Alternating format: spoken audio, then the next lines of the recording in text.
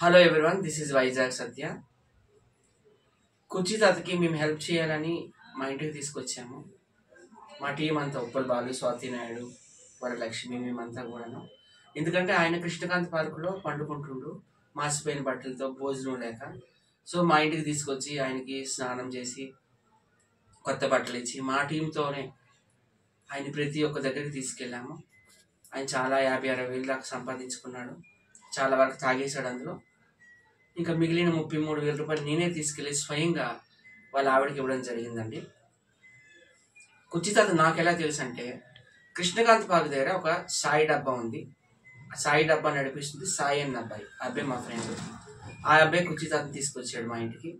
సత్య మీ team చాలా పెద్దది కదా. ఉప్పలబాలు అగ్గిపెట్టి మచ్చ టిక్ టాక్ దుర్గారావు కుంటి నాగరాజు బషీర్ మాస్టర్ స్వాతి నాయుడు వరలక్ష్మి కథర్ పాప మీ టీం ఉంది కదా? మీ టీంలో ఈయన కలుపుకోండి అన్నారు తీసుకొచ్చాము మేము ఎక్కడికి వెళ్తే అక్కడ తీసుకెళ్ళాము. ఒక అద్భుతం కూడా జరిగింది. ఎస్ఎస్ తమన్ మ్యూజిక్ డైరెక్టర్ దగ్గర తీసుకెళ్ళాను. ఆయన ఈ డైలాగ్ గుంటూరు కారంలో కూడా పెట్టారు. ఇంకా ఆయన రేంజ్ ఆకాశం గెలిపింది మీ అందరూ తెలిసి. కుర్చీ తాతే చాలా సందర్భాల్లో చెప్పాడు. వైజాగ్ సజ్జతో నాకు పరిచయం అయినాక పావలా ఉండు నా రేంజు రూపాయి అయ్యింది ఆయన నేను రుణపడి ఉంటానని చెప్పింది. సడన్గా మళ్ళీ వైజాగ్ వచ్చే దొంగ నా మీద లక్షలు సంపాదిస్తున్నాడు. వాడికి కాల్ తీసేస్తా చేయి తీసేస్తా మర్డర్ చేసేస్తా నేను ఆల్రెడీ నాలుగైదు మర్డర్లు చేశాను. మా సొంత బామ్మర్దిని కుర్చీ కొట్టి చంపేశాను అని ఏవేవో వీడియోలు చేసి నన్ను చాలా టార్చర్ పెట్టాడు. దేనికి పెట్టాడంటే మహేష్ బాబు అంట ఈ డైలాగ్ పెట్టుకొని మూడు వందల కోట్లు సంపాదించుకున్నాడట. నేను ఇతన్ని మహేష్ బాబు ఇంటికి తీసుకెళ్ళాలంట. హైదరాబాద్లో ఒక ఇల్లు ప్లాటు. ఇప్పియాలంట అది కుదరదు సాధ్యం కాదని చెప్పిన నేను. ఎందుకంటే తమన్ గారు ఆల్రెడీ అక్షరాలు ఇరవై వేల రూపాయలు ఇచ్చారు క్యాష్. అందులో ఆయన ఆయన హాస్పిటల్ తీసుకెళ్ళాము ఎందుకంటే ఆయన బ్లడ్ వామిటింగ్స్ అవుతున్నాయి. ఆయన ట్రీట్మెంట్ కోసము అలాగే ఆయనకు కొత్త బట్టల కోసము ఆయనకి ఆయన ఖర్చులు అన్నీ పోను. పదకొండు వేలు పన్నెండు వేలు మిగిలితే నేనే తీసుకెళ్ళి అలా ఆవిడకి ఇచ్చేసాను సో మహేష్ బాబు ఇంటికి నేను తీసుకెళ్ళలేదని నా మీద కక్ష కట్టుకొని నా మీద విపరీతంగా వీడియోస్ యూట్యూబ్లో ఇష్టం వచ్చినట్టు తిడుతుంటే అలాగే టెన్ డేస్ ఓపు పట్టి ఓపు పట్టి మొన్న సంక్రాంతి అయితే నేను మనస్ఫూర్తిగా చేసుకోలేదండి నిజంగా. అలా జరిగింది. సో నేను ఇక్కడ హైదరాబాద్ పోలీసులు కంప్లైంట్ ఇవ్వడం జరిగింది. వాళ్ళు కూర్చీ మడత పెట్టేశారండి. వాళ్ళు స్టేట్మెంట్ అడిగారు ఎందుకు అట్లా వీడియోస్ చేస్తున్నామంటే కొంతమంది యూట్యూబర్స్ నాకు క్వార్టర్ మంది ఇచ్చి వైజాగ్ సత్యం తిట్టిస్తుందని చెప్పిండు. సో వాళ్ళు ఆయన కౌన్సిలింగ్ ఇచ్చారు చిన్న కోటింగ్ ఇచ్చారు. మేమే ఇంక వదిలేయమన్నా వదిలేయండి పెద్ద అయిన కదా. లెటర్ మీద కూడా సంతకం పెట్టుకున్నారు. ఇంక ఎప్పుడు వైజాగ్ సత్యం కానీ నువ్వు తిడుతూ వీడియో చేస్తే నిన్ను లోపల వేసేస్తామన్నారు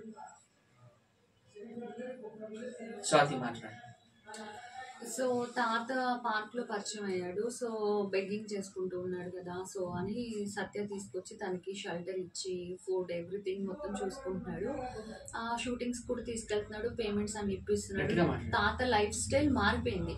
మారిపోయేసరికి ఒక్కసారిగా ఇంకా ఎలా చెప్పాలి? కొమ్ములు వచ్చాయంటారు కదా. అట్లా ఎట్లా అంటే అన్నం పెట్టిన చేతికి తను బ్యాడ్ చేస్తూ సత్య గురించి బ్యాడ్గా అంటే ఇంకా నా నోటితో నేను చెప్పలేను. గ్రూపుల్గా మాట్లాడటం కానీ లేదంటే గనక ఇంకా లక్ష లక్ష ఇక తన ఇష్టం.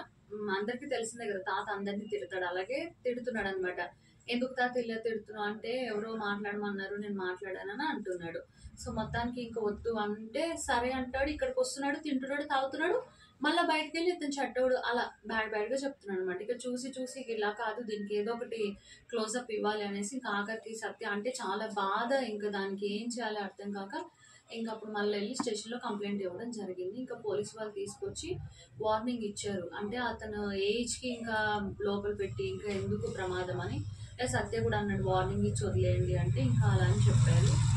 మరి చూడాలి ఎంతవరకు మారాడో ఏంటో. వరలక్ష్మి నా పేరు వరలక్ష్మి తెలుసు కదా ఒకరు బాలుగారు గ్రూప్ నెంబర్ నేను కూడా. బాలుగారి గురించి మన సత్యాగారి గురించి వేరే విధంగా చెప్పవసరం లేదు అందరికీ తెలుసు. నేను చాలాసార్లు కుర్చీ తాత గారు ఉండడం చూసిన నాకు మన కృష్ణగంత పాటలోనే పరిచయం అయ్యారు ఆయన. ఇతను ఎక్కడ ఉంటున్నారు అంటే వైఎస్ వచ్చే వాళ్ళ ఇంట్లో వైఎస్ వచ్చాకే పాపం వాళ్ళ ఇంట్లో చిన్న రూమ్ ఎట్లా ఉన్నారు ఏంటో అంటే ఇక్కడికి వచ్చినట్టు చూసా. చూస్తే నిజంగా అతనికి మంచిగా బెడ్ అన్ని ఎవ్రీథింగ్ అన్ని అమర్చి కరెక్ట్గా ఏడో టైం కల్లా మంచిగా ఫుడ్ అన్ని అరేంజ్ చేసి పడుకోబెట్టేవారు. చాలా బాగా చూసుకునేవారు. కానీ ఒకటి అతను ఒక రేంజ్కి వచ్చాడంటే కారణం ఈయనే.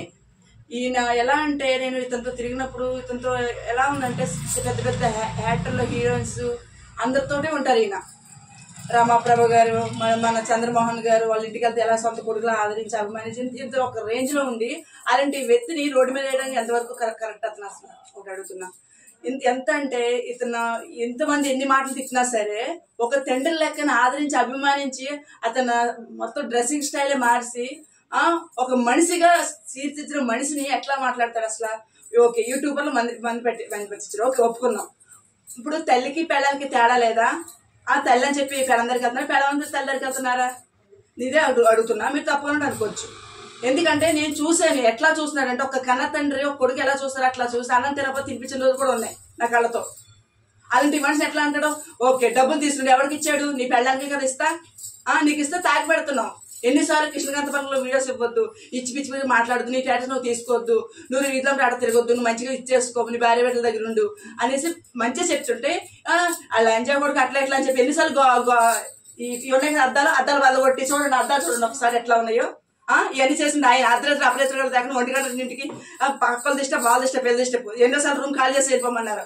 ఆ బాత్రూమ్ బట్టి బాత్రూమ్ సెట్ సెట్ చేస్తే అది కూడా వెళ్ళి చెప్పకూడదు అది కూడా ఇచ్చేసుకోడు ఈయన. అంత దేవుళ్ళ ఉండే అతన్ని ఎలా అనగలిగావు నువ్వు ఒకసారి? మేము ఒక విషయం మీరు ఎలాగైనా పడండి. మమ్మల్ని మాత్రం మా గ్రూప్లో వాళ్ళు ఎవరైనా ఇన్వాల్వ్ చేస్తే మాత్రం మేము ఎంతవరకు వెళ్తాం. ఒకటి మన మా అన్న జోలికి కన్నా వస్తే కనుక మేము వెళ్ళి కేసు పెడతాం. నాకు అసలు విషయం తెలియక పాపం అనిపించింది. ఇప్పుడు పాపంలో దోపలేదు. ఎందుకంటే చెయ్యి మన చెయ్యని సరే నరికేసుకుంటాం. అలాంటిది అంత అలా చేసి అంత ఇచ్చేసిన మనిషిని అలా మాట్లాడితే మేము ఎందుకు ఊరుకుంటాం? Thank you